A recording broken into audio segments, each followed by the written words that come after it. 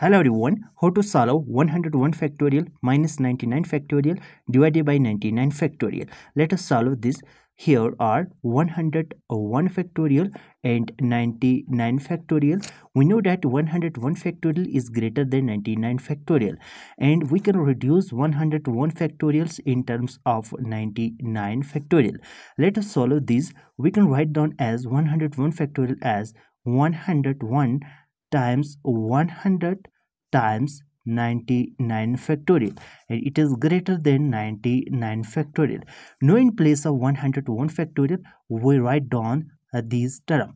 Now we have 101 factorial means that 101 times 100 times 99 factorial minus 99 factorial divided by 99 factorial now we can take out oh, 99 factorial from this term from this term.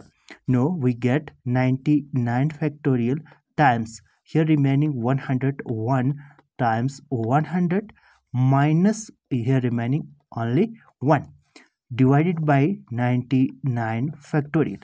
Now we can cancel out this 99 factorial by 99 factorial and we have 101 times 100 uh, it become 100 100 no minus 1 no when we subtract minus 1 from this term and we get 9 9 uh,